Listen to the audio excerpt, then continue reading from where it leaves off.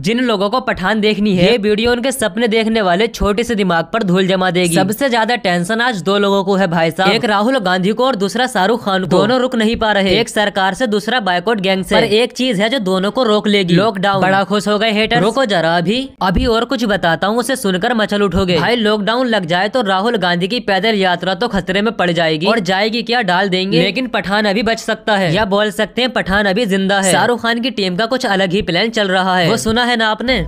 Don के दुश्मन की सबसे बड़ी गलती ये है। कि वो डॉन का भाई मूवी का ट्रेलर आने की पक्की बात बताऊँ तो एक या दो जनवरी को पठान का ट्रेलर आता। अब भी आ सकता है नए साल पर। और अंदर की खबरें हैं कि ट्रेलर टल सकता है। क्यों? रीजन तो बता ही दिया कोरोना भाई। इस मूवी के टीजर में ही इतना कुछ था कि लोग देखते रह गए। ऐसे में ट्रेलर ले आए और मूवी छह महीने बाद आई तो लोगों को बोरिंग लगेगा ट्रेलर जब ट्रेलर नहीं आया तो मूवी की रिलीज़ की डेट पोस्टपोन की जाए जो लोग मूवी का विरोध कर रहे थे वो बहुत खुश है की लो देख लो पठान। नहीं झूमेगा पठान थिएटर बंद हो जाएगा मेरी जान। देखो भैया हम आपको बता देते हैं कि दुख केवल पठान को नहीं होगा। दुख तो उन लोगों को भी होने वाला है जो 26 तारीख को गदर टू देखने वाले थे। और दुख सनी पाजी को भी हो रहा होगा की, भाई सारी पनौती मेरे टाइम पे ही क्यूँ आती है?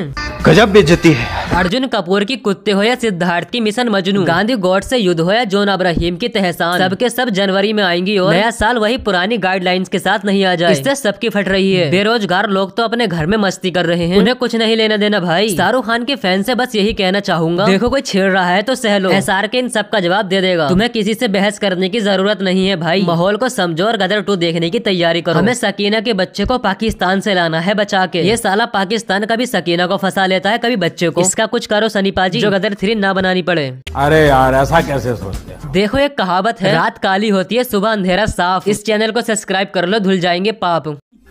वाह वाह वाह वाह। ज़बरदस्ती नहीं है भाई। हाँ वो लाइक नहीं किया आपने।